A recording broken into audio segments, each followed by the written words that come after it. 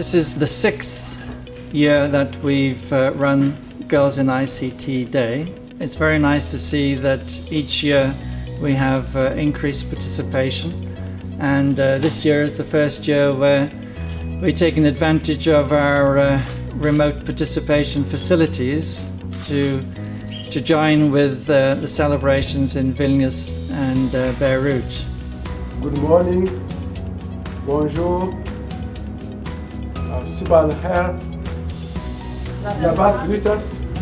I'm learning from here. Just, just good morning to all of you.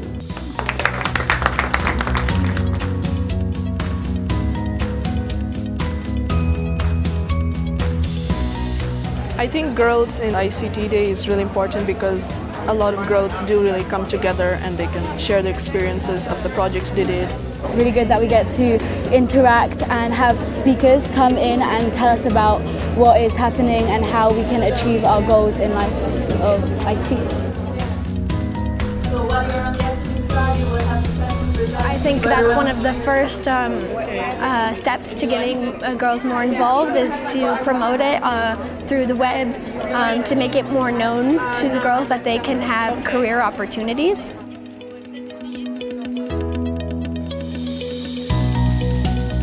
I think that to encourage girls to uh, go into technology-oriented careers, we need to start at uh, education, targeting from a really young age, making sure that uh, girls and boys have equal opportunities.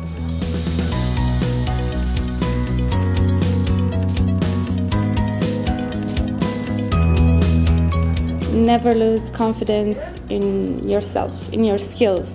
Um, the ICT sector, I think it also needs some femininity, let's say sensitivity, creativity, what women can bring to the field, it needs what we can bring.